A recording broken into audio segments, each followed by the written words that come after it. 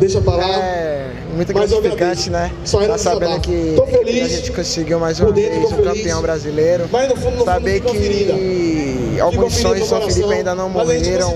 e- abalar. Eu não tenho nem palavras Às dizer, né? tô Como se eu tivesse sido campeão digo, Eu vou novamente. desistir, vou desistir.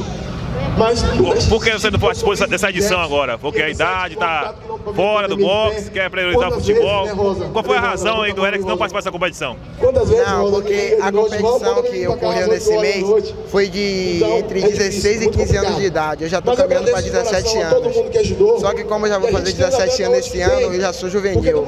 E a competição do Brasileiro Juvenil é só em novembro. Aí eu tô treinando e aguardando chegar o momento para poder ir pro Brasileiro esse também. ano, ano que vem, não sei. Tem expectativa de chegar aí para disputar uma Olimpíada?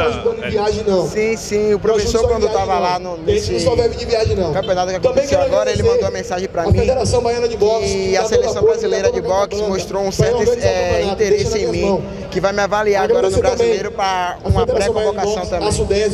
Agradecer a Eric pela sua participação. Deixa a sua mensagem aí para seus colegas que chegou aí. A gente e ma- conseguiu trazendo mais um título. uma equipe muito forte na É, deixar uma mensagem pra com eles que 22 foram merecedores, né, guerreiros, treinando duro, é, encontraram uma certa dificuldade lá na cidade onde estavam lutando, mas graças a Deus conseguiram trazer o título E eu sei que eles caminharão cada dia mais para ser mais campeões, para por 22 ser cada vez mais campeões.